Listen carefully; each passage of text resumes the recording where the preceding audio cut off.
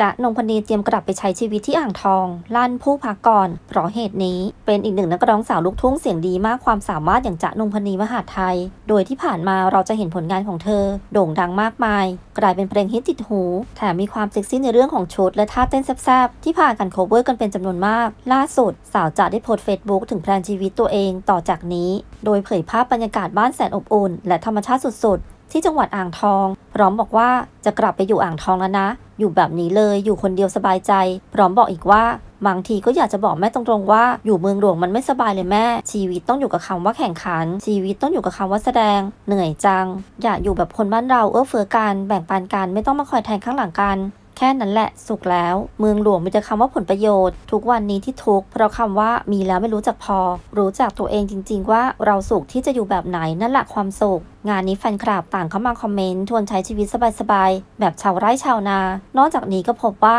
มีชาวเน็ตรายหนึ่งถามว่า คนเดียวจริงๆหรอแม่จ๋าตอบว่ามีพ่อแม่อีก ผู้พักก่อนผู้เขาชอบชีวิตคนกรุงคนละแนวกัน ขอขอบคุณภาพ Facebook นงพดีมหาไทย ภาพเป็นแหล่งข้อมูลข่าว ทีมงานที่นี่ .com ค่ะ ฝากกดไลค์ กดแชร์ กด Subscribe กดกระดิ่งกันด้วยนะคะ